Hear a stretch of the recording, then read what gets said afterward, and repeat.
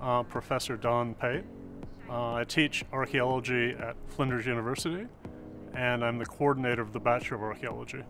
So I had the passion for studying archaeology, and then decided to do that as my career, and went way back east coast from California to Rhode Island and Massachusetts, to Brown University and Harvard University, and started studying archaeology there at master's, PhD, and then I went on to the postdoc.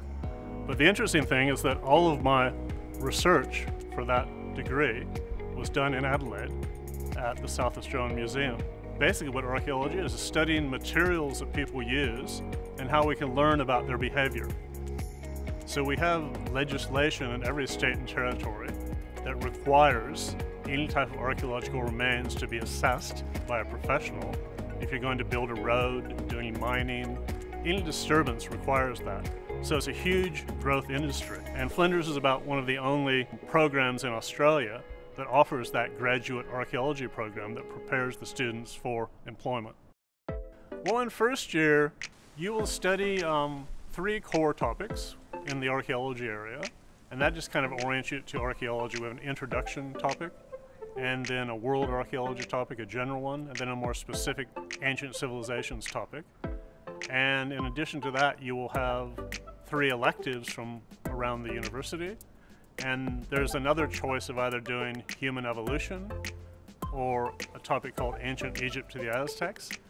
And then the last topic that you would do is a general professional communications topic that most of the students do across the university to assist you with transitioning to a university environment. So second year we have one core topic called human evolution and that looks all the way back to our African origins. And we have an introduction to the first people of Australia, which is the indigenous archaeology. We also have another one called the Archaeology of Modern Society that allows you to look at archaeology within, you know, the, what does it mean to you as a person living in Australia today. So at third year, we only have two core topics in archaeology. So you would study um, history of archaeology, which looks at kind of the theory and method, and then the second one is called environmental archaeology. So looking at environmental changes uh, that have affected our behavior. So the remaining six topics, three are electives in archaeology, and three are electives in any other topic across the university or related areas.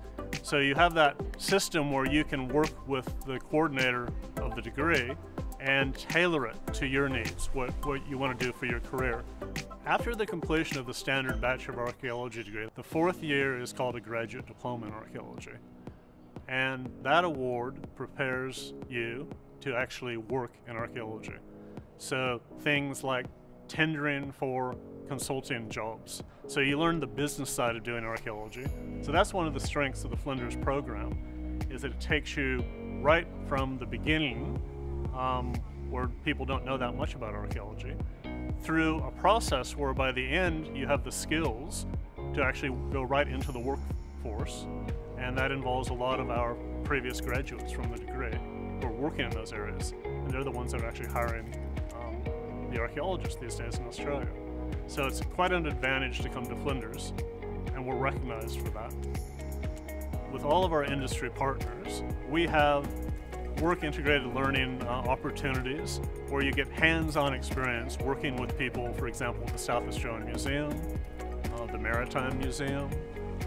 We even work with the, the state police here, if you're interested in more of the forensic side. CSIRO, which is the scientific branch of the government, we have placements there. But in addition to that, we have exchange programs all over the world with other universities that allows students to travel and see how archaeology is done elsewhere, and that's quite important. Yeah, if we look at the academic and technical staff at Flinders, that's one of the major strengths of our program, and that we're very large. We're one of the largest archaeology programs in Australia. And we represent the whole range of archaeology. Upon the completion of the Bachelor of Archaeology, a majority of the work is in heritage management.